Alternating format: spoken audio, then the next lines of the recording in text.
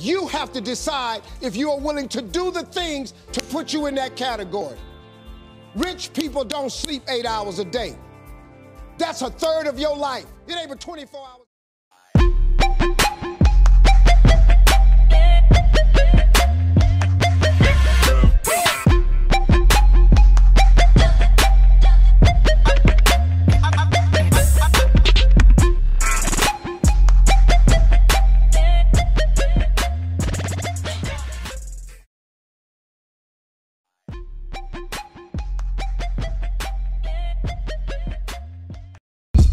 Me show you this.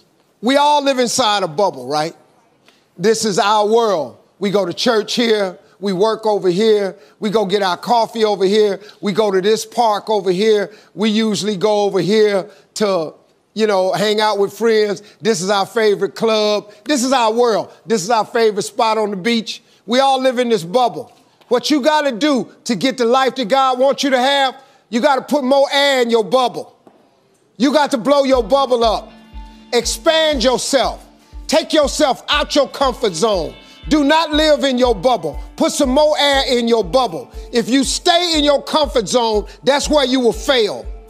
You will fail in your comfort zone. Success is not a comfortable procedure. It is a very uncomfortable thing to attempt. So you got to get comfortable being uncomfortable if you ever want to be successful. Start putting some pressure on. Put some pressure on yourself. Get out here and get about it. Look, I'd love to sugarcoat this thing for you. I'd love to tell you, look, you can go out here and get rich, do a couple of things. That ain't, that ain't happening. You got to get real doggish. You got to get downright funky if you want to make it. Now, like I was telling you before, if you want to be ordinary, you ain't even got to listen to me. Just go on about your business.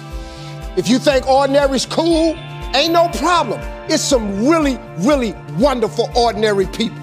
But if you are sitting in this room and you have extraordinary aspirations, then you're going to have to do extra.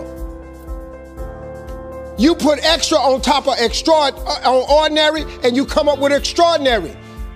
It's no other way. I'm sorry. But here's the fact. All of you have extraordinary capabilities. All of you. You have to decide if you are willing to do the things to put you in that category. Rich people don't sleep eight hours a day. That's a third of your life. It ain't but 24 hours in a day. You cannot be sleep eight hours a day. You can't live in LA and wake up at eight o'clock in the morning. It's 11 o'clock on the East Coast. The stock market been open two hours. They already making decisions about your life and your ass was sleep. The Bible says, He who loves to sleep and the folding of hands, poverty will set upon you like a thief in the night.